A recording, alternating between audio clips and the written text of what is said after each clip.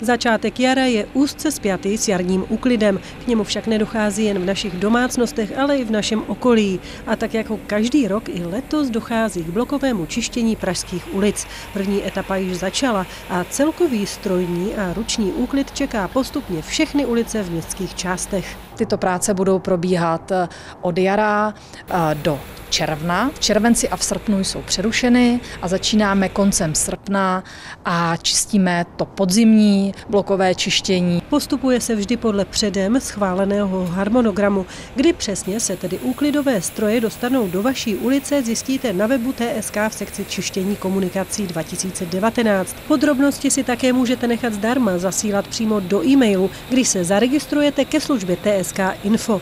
Kromě těchto informačních kanálů se Pražané dozvědí o plánovaném úklidu také přímo v ulicích. Budou tam totiž instalovány minimálně sedm dní před úklidem značky. Zákaz zastavení, kde je uveden čas i datum čištění. Práce probíhají vždy ve všední dny od 8 do 15 hodin. Doporučujeme řidičům své auta přeparkovat a aby se vyhli pokutě technickému úkonu. Ve výjimečném případě eh, odtažení vozidla. Pravidelné čištění ulic je nedílnou součástí údržby komunikací, které je potřeba zbavit štěrku, nečistot prachových částic či zajistit průchodnost kanalizačních výpustí. Toto blokové čištění se provádí částečně ručně a poté se provádí eh, strojně, což jsou splachy vozovek, metení vozovek eh, a další mechanismy, které jsou k tomu nutné. Ve zvláštním režimu proběhne úklid Pražské památkové rezervace, která spadá do území městské části Praha 1 a 2. Tam se budou ulice čistit výhradně o